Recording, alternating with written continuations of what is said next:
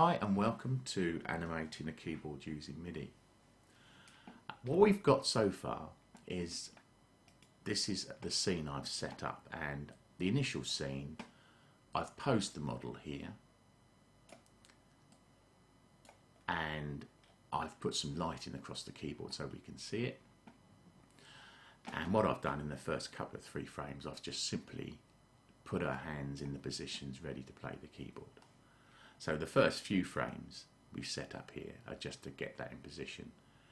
Now what I'd like to do is show you how to get the information into the keyboard. So I'll delete this for now, this so you can see it from scratch. So what we're going to do first of all, this is the MIDI load file and I'm going to run the script. Using the ignore controllers and quantize, I'm going to load the text file. With, so this is the MIDI file that's been converted into a text file, but it's also gone through the MIDI helper to correct any issues that were in there. Okay, so the first thing we're going to do is load up the MIDI text file, and I'd like to show you what that is so you can see it. Okay, so all looking good. Okay, so that's finished, so we're going to close that down. Uh, don't forget using Keymate just to give that a little click and back again so you can see the MIDI data. So in here you can see all the MIDI information that's now been put down onto the timeline. So over here you can see there's different channels that I've recorded from uh, for the various bits from the sampling, Magix Samplitude system. So I've exported the MIDI file but these are now the separate channels. Okay, um, so we've got it down here as well if we want to reference it as well. So what we're going to do next is we're going to start to input the data into here. Now, a couple of things worthy of note is I've parented in the Genesis figure, I've parented the keyboard and the legs of the keyboard there all in one bit so I can just move it around the scene.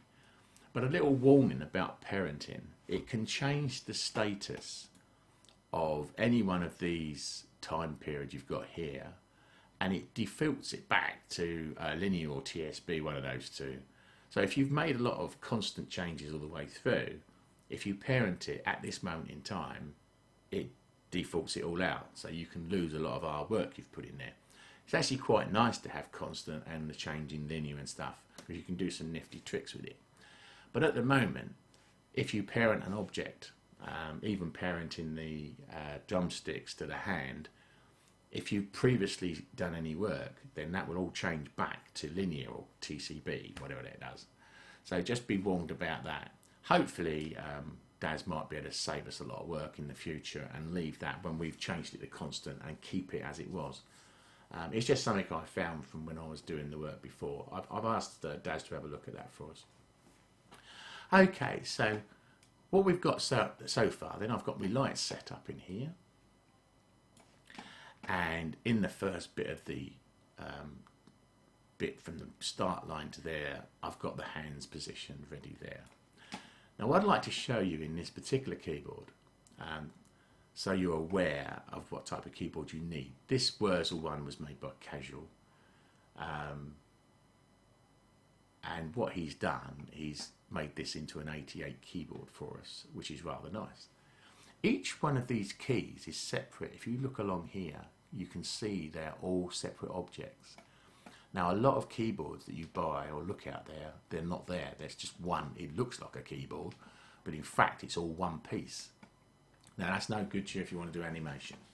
So, you need to get a keyboard that is, is available with all these separate bits. That means you can take any object like that one and you can move it backwards and forwards. So I can tilt it and make it look like the key's going down, which is what we're going to do. Now some keyboards need, um, they, they actually pivot from here and some pivot, like a piano will pivot in here, so they react slightly differently. But for now, we've got each one of those objects in there. Now you can start to see that if we want to get every note to come down on every one of these keyboard keys, it's going to be a lot of work. So I'm going to show you how you can do that um, a lot easier and you just need a notepad to help it out. Now notice as well in the actual uh, keyboard itself we've got the notes are all here so note 87 is that top note there and if I go down to the bottom one, well, you can see as I go through there where these notes actually are. Okay, so in this case, the notes go down to note zero.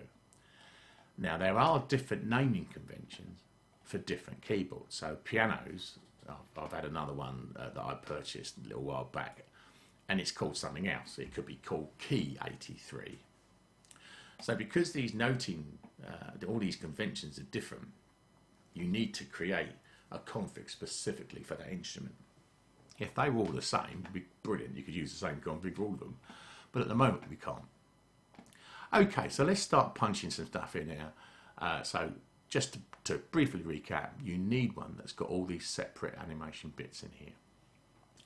Um, so that's that's there that you can get. So be careful when you go around looking for a keyboard or buying one yourself, um, buying the model, because they are all different. Okay, so let's carry on then. So I'm going to first of all click on the Wurzel to pick up the whole shooting match here. We're going to run the script. Okay, now in this particular case, I've loaded it in. So I've used the load text, I used ignore controllers and quantize, loaded the MIDI file in. Now we're going over to this bit here. Now what I want to show you here is that these are the different channels and I've put the left hand on channel 2, the right hand on channel 1. Equally well, you could have played it and done it all on channel 1. Drums and things are always slightly different. So in this case, we're doing, we're going to use channel 1 and channel 2. And what I'm going to do is select, that. I've selected that particular one there, so that, that would do the whole shooting match if I did that. So let's be uh, quite specific. Let's get this one up here, this one right on the end there. Okay? So let's go into that one. So that's the actual key we're playing with. As you can see, it's there. And obviously, if I clicked on that one, it would change. Okay. So now I've done that, running this, and the reason I want to show you this is because this is how you get the first key in there. It's already chose the key that we want because it's note 87. I'm going to use channel 1 in this particular instance. I'm going to use X rotate, I'm going to use a value of 7 and I'm going to add that in. Okay? So, I'm not going to punch that down into the timeline. Instead, I'm going to save that file. So we're going to come down here. I've called one test. Okay, so what I've done, I've used that particular one and I've saved it. So now let's do that again, but now we're going to go to load and we use load and now we can pull that back if we so wish, test. What I wanted to show you though is we're going to open that one up. In there you can see all these parameters. Now we've only done one note, okay? It was note 87. The X rotate and everything else is there. And the other important thing is the values are set between 0 and 127. The 127, we can physically move the position of the octave, if you like. So if we take off 12 off of that and keep coming down, we can start to move where the keyboard starts to play. So that bit there is where we can move the octave, if you like, or the notes. Move it by one if you wanted to. And the channel one is the channel one because that's what I've asked for. Now what I want to show you is if you now copy this and then paste it in here and make that 86 and that 126 and you carry on all the way through you will create a profile for that keyboard. The important thing here is this is the Note 87. If that was a different keyboard, that could be something else. So that's why you probably need a different config for every keyboard. The first time I did it, I did it all manually, and trust me, it took ages. Using this method, you can get all of those notes quickly in there. So let me just show you what else I've done. Up here, this is the config that I've created, which is going to pop itself into there. Takes a couple of seconds to go in there. Okay, so that was channel 1, loaded from there. I'm going to apply that in there. Then I go back to load file, and this time I'm going to use channel 2, which is my left hand. Channel 2's come in, I apply those assignments, and before we disappear, I'm going to show you what's in here. So we're going to open that one up. Now notice I started this at 108. So my 87 is no longer 127. I've moved it down an octave. You could go to you know 96 and then to the other one. So I'm physically changing where these notes are going to play on the keyboard and I've moved it down by an octave. The values are all the same as I've got in here.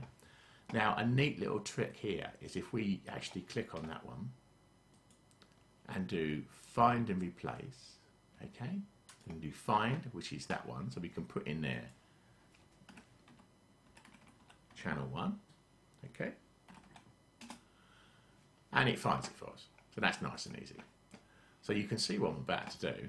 If you go replace, you can take that one and you can change it to channel 2. Now you can go through that whole file and you can change the channel from channel 1 to channel 2. So A, we've created a config for that particular keyboard over the whole range of notes, but we've also got the ability to change it. So you can now save, you can take the channel 1, save that off as a file, call it something obvious for yourself, and then change it all to channel 2, and then save it again as channel 2, channel 3, channel 4, channel 5 and so on. Okay, so that's how I've got the different configs for the different channels for that specific instrument. And don't forget the naming convention is very important. If that's different, then that config will not work on that other instrument. Okay, so let's have a quick look. Um, in here, we'll have a quick look at this bit here. Um, so we're going up on here. You can see in the Genesis Stream, looks like it's in there okay. This is the config for the keyboard. So now, when we run this through here, you can start to see the notes are playing, okay?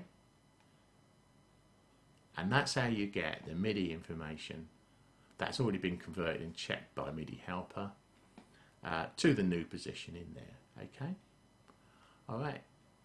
And at the moment, we can go through that now and we can start to think about animating the hands and we'll have a look at that later on in the next video but for now that's how you get the config into a specific instrument. Um, it looks a bit complicated but once you've done it very easy just to pop it in and change whatever you want. So your next MIDI file you've already got the config for it. So thank you very much for listening and I'll catch you later. Bye bye now